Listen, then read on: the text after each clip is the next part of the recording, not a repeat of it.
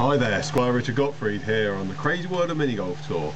It's Friday the 13th of July 2012 and we are playing the 300th miniature golf course on the Crazy World of Mini Golf Tour and it's the 500th course visited overall. Woo! Exciting stuff. We played hole one, the Jolly Roger hole. We've got eight or nine more, other eight more holes to go. I think it's a nine hole course in total. I'm so excited. but the course constructed, it's got wood construction, there's concrete, there's felt holes as well. Absolutely brilliant. Despite this uh, less than great weather, but it's the British summer for you. Anyway, gonna crack on and play some more.